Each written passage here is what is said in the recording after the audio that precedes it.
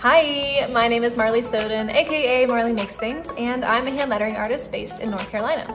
I'm so excited to be working with Adobe in the Adobe Stock Make It Happen series.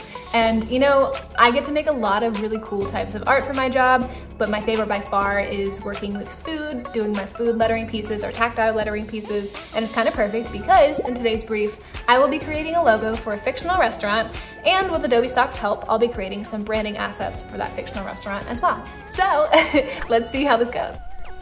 So I've decided to call my restaurant Sprinkles because I'm picturing it as a restaurant that you go to for milkshakes and birthday cake on your birthday. It's actually based off of a joke from one of my favorite TV shows, if you know, you know.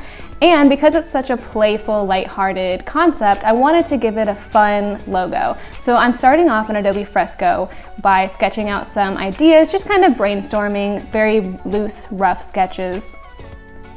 So as I'm sketching out these ideas, I'm trying to make the logo feel fun and youthful and energetic so that it still has that kind of nostalgic feeling that I remember from having birthday parties as a kid. So once I've sketched a few designs out, I kind of narrow it down to my favorite, pick all my favorite elements, and then I start inking with the vector brush in Adobe Fresco.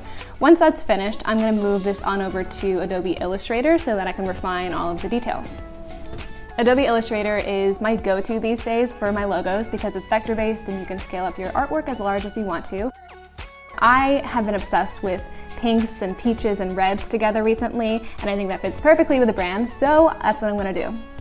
Next, I'm gonna go ahead and hop into Adobe Stock because every restaurant needs a menu. So I'm just perusing the templates and I'm searching menu here. I actually found one that's kind of perfect. It has a milkshake on the cover, so I'm gonna hit save to library.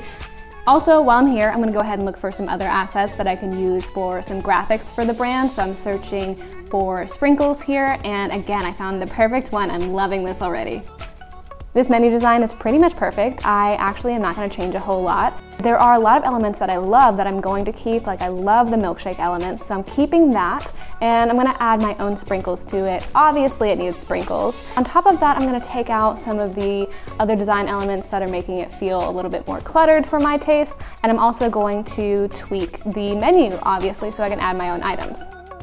Moving on to the other sprinkles graphic, I'm just doing a quick edit to the colors and then I'm gonna add my logo on top and edit some of these sprinkles so it feels like the real sprinkles are lying on top of the text. I think that would be such a cool graphic.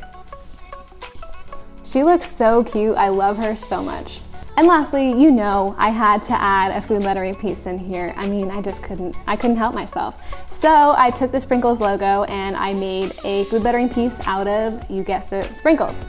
I went ahead and photographed that and edited it really quickly in Lightroom. It actually didn't need too much retouching and here's how that's looking. I, God, I just feel like this whole thing is coming together so well. I love it all. So let's recap everything we have. We have the logo that we created in Adobe Fresco and Adobe Illustrator. We have our Adobe Stock assets that created our menu and our additional graphics. We also have our food lettering piece and here's what everything looks like all together. I kind of love the way this turned out. I am obsessed. So Thank you so much for watching. I had an absolute blast creating this branding project with the help of Adobe Stock. While you're here, go ahead and check out all of the other amazing artists in the Make It Happen series on the Adobe Creative Cloud YouTube channel.